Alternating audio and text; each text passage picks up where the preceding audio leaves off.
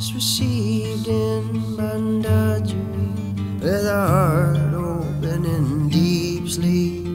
Melaleuca dreaming.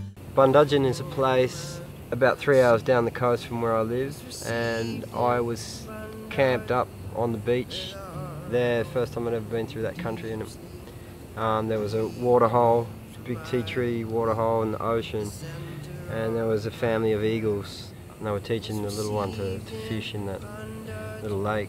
And I slept like a baby. I remember I needed to sleep, you know, I was tired and I don't usually sleep that much. And I had my swag on the beach and I, I even slept through the day which I never do. And it felt like I was just being stroked on the head by old grandmother spirit there and that's where that song came through and I played that song and then I left. Melaleuca dreaming, old woman could see